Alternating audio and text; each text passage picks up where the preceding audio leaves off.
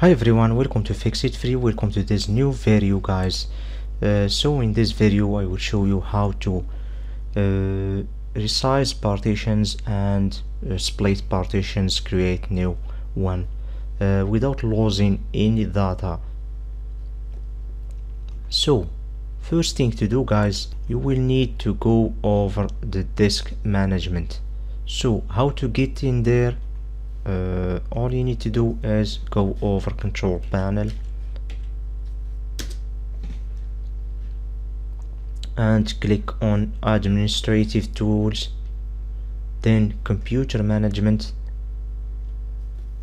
Then here is the disk manager management here.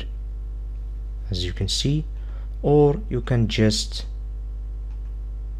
type in create and format hard disk partitions. And you will be directly redirected to the disk management.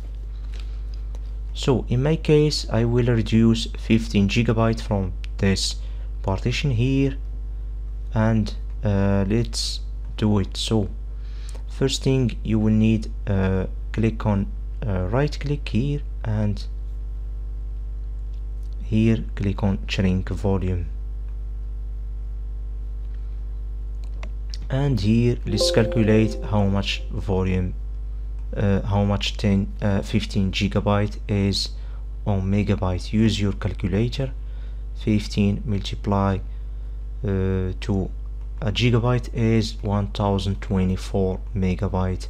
So this will give me uh, 15,000 15,316 let's write this number here. 60 and click on shrink as you can see guys. So wait for some time. Uh, the system now separate all the file to the other uh, the rest of the partition. So here we job the job is done guys. Uh, as you can see here is the 15 gigabyte uh, but remember those 15 gigabyte will not be showing here because it's unallocated space and there is no partition. Uh, so as you can see the color is black. That means that there is no partition installed here. Uh, so uh, we have here uh, 49 gigabyte.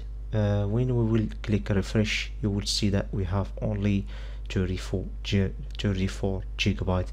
So if you want those 15 gigabyte to be a new partition here again uh, to all you need to do is click right click and click uh, new simple volume and follow the guide uh, by just clicking next next next.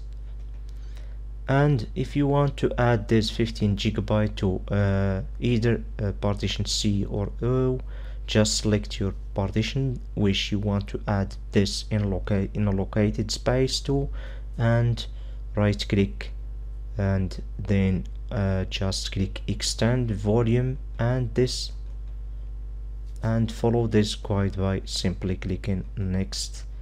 And here is the the volume that uh, we will add again to the partition. O just click next and finish.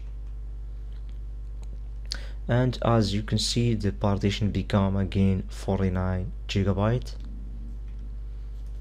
And we will click refresh to see the final result as you can see 49 uh, and even if when I split those partition and merge them again you can see that all my file still safe and there is nothing to worry about uh, doing this tutorial. So thank you guys for watching this video. Don't forget to subscribe to fix it free. And don't forget guys to give me a like and a comment if you want to ask about something. Thank you guys for watching